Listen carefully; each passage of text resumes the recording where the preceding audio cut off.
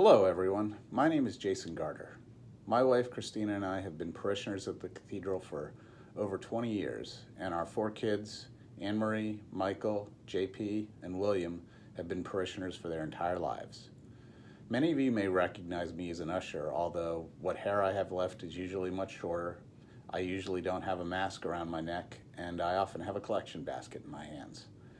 One of my favorite things about being an usher at the cathedral is seeing the ear-to-ear grins on young kids' faces as they slam dunk their parents' offertory envelopes into my collection basket on Sundays. Along with missing the joy and enthusiasm of those kids on Sundays, I also miss all of the other spiritual and interpersonal interactions that go along with attending Sunday Mass at the cathedral. One of my favorite times on Sundays is right after Mass, when we never know who we will end up chatting with. Will it be a neighbor, a coworker, the parents of some of our kids' classmates, one of our kids' teachers, an old friend that we haven't seen in a few years, or someone from our Saturday tennis group with whom we just played the day before.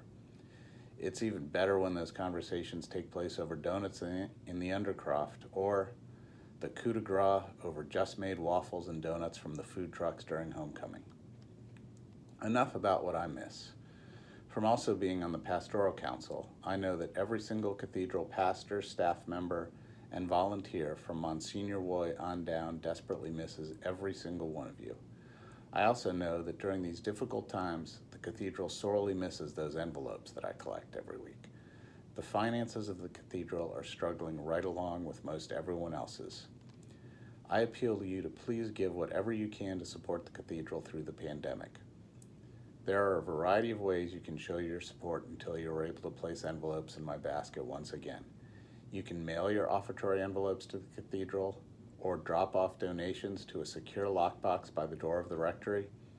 Easiest of all is to make a gift online by going to the cathedralofmary.org website. Just look for the donate button. And for those of you with the young kids whose faces always light up when they drop your envelope in the basket, please let them be the ones to press that donate button. Thank you so much, and I can't wait to see everyone at church again.